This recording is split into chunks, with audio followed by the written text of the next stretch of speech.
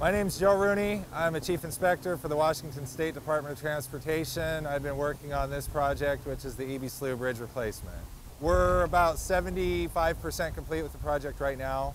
Uh, the remaining work involves getting the new bridge open to traffic and then demoing out the existing structure.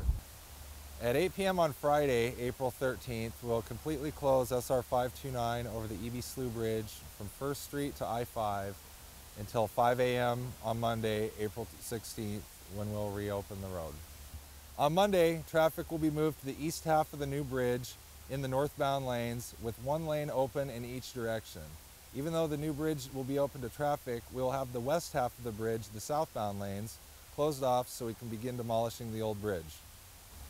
When we start the demo work, we'll begin by saw cutting and removing the concrete slab from the steel truss portion of the bridge. Then we will remove the steel truss itself, and finally, we will demolish the substructure of the bridge.